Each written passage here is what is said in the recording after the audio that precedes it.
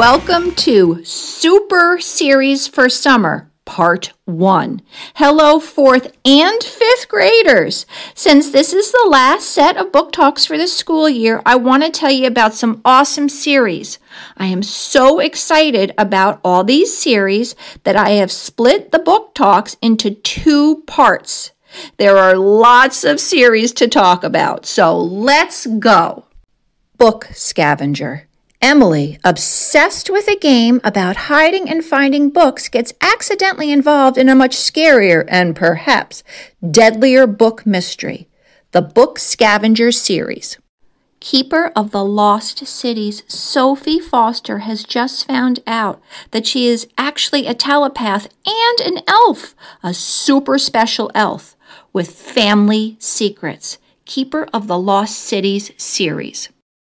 Ghost each book in this series is about a different kid who are all connected by running track at an elite middle school.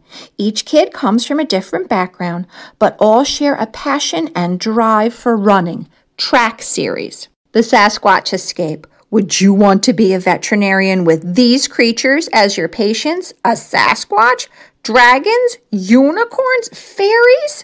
Well, then, this series is for you the Imaginary Veterinary series. The Serpent Secrets. Kiranmala thinks she is just an average girl. However, she is actually a demon slayer, an interdimensional demon slayer. She just doesn't know it yet. Kiranmala and the Kingdom Beyond series. The Penderwicks, a summer tale of four sisters, two rabbits, and a very interesting boy.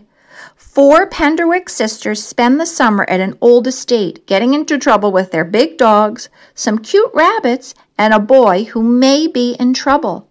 The Penderwick series. 11 birthdays. Amanda's 11th birthday is just awful, and now she is forced to live that day over and over again.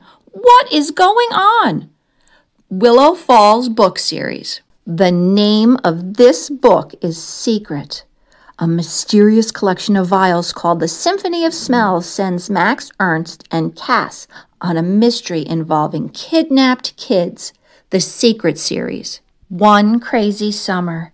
It's the summer of 1968. Delphine and her two sisters are forced to spend the summer with a mother they never knew. Gaither Sisters Trilogy. Aru Shah and the End of Time.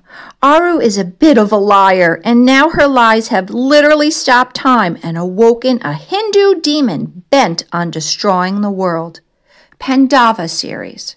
All of these books are available to borrow from the Saratoga Springs Public Library, and most are available on Overdrive and Libby app. Happy reading and happy summer!